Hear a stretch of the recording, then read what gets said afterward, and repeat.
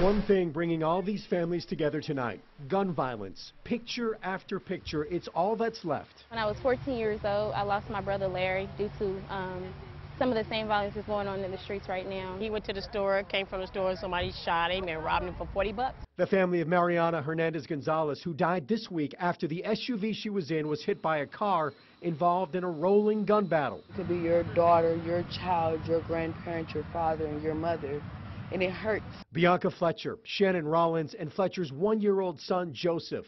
For them, some closure tonight. An arrest made, charges filed today. Even though we didn't get to, you know, say our goodbyes to Bianca or Jen or Shannon or you know JoJo, um, now they can really rest. They can rest. They can rest now. Now, now that this is behind bars. That arrest made thanks to a witness coming forward. Grateful family members and many others in need of the same kind of heroes. A lot of times people yell, you know, the police can do so much more, but we as a community, when we allow people knowingly, you know, to continue to murder, you know, our young people, our young African American people, and we don't say anything, you know, that hurts us the most.